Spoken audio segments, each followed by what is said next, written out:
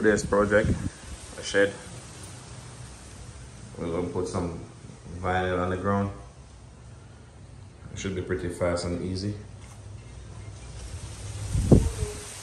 Underlayment down. That's step two.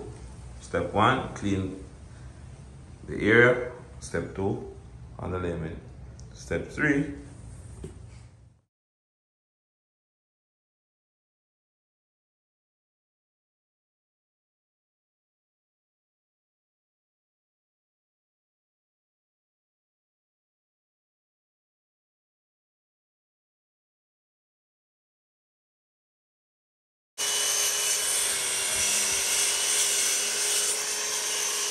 Where's the officer?